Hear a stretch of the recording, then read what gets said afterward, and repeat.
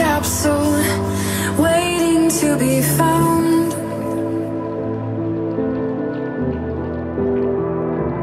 Oh, and I'm